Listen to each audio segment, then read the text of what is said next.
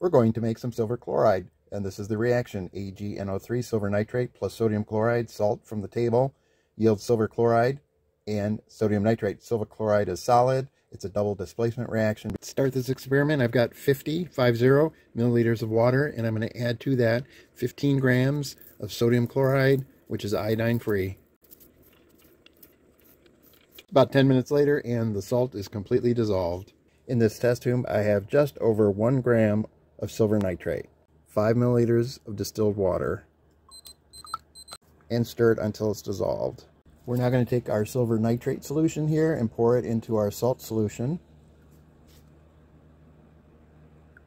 And you can immediately see that white precipitate form, which is the silver chloride. We take our silver chloride here and filter it. This our silver chloride.